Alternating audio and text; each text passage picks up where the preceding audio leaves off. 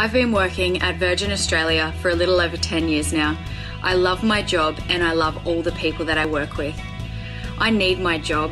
I'm a single person and I have to support myself. Prime Minister, will you please support Virgin and support the aviation industry in Australia? I've been working with Virgin for 14 years, coming up to 15. I've met a lot of great friends here. Some friends have turned to family.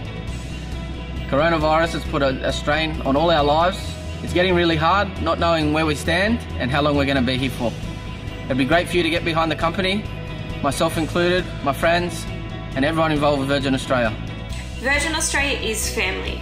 The heart and souls of 10,000 employees are with this company.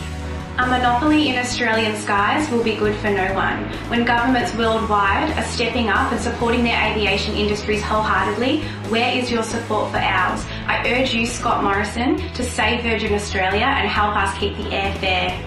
Governments globally are supporting their aviation industries as the COVID 19 and government related decisions directly affect the industry. It is estimated Virgin Australia adds 11 billion to the Australian tourism market annually and has brought airfares down by 40% from 20 years ago.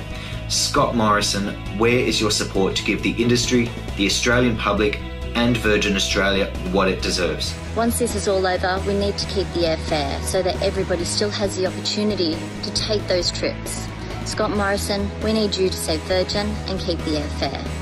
I need my job to support myself, to pay rent and pay my bills so I continue to follow my dream. Please don't clip our wings, save Virgin Australia, save aviation. I love my job and I love the people I work with and I'm here to ask you if you will help Virgin Australia and the Australian aviation industry get through this crisis. I've worked for Virgin Australia for seven years. Uh, at the moment it is difficult during this coronavirus. Um, most of my colleagues are struggling, so am I. We're asking for your help and if you can give us some sort of assistance. And it's just gut wrenching for these poor poor people.